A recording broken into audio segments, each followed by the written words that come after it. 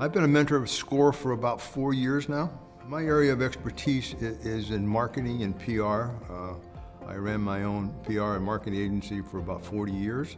I wish I would have had SCORE 40 years ago uh, to, to, to be mentored so I didn't make some of the mistakes I made during the way. So I'm trying to help existing customers avoid those pitfalls.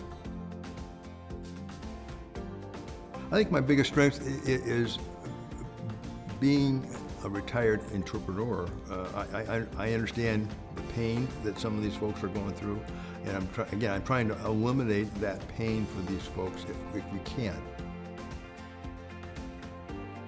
I, I think we all need to give back, and you'll reap the rewards uh, when people come up and thank you, and, and, and they just they're very appreciative of, of, of what you do.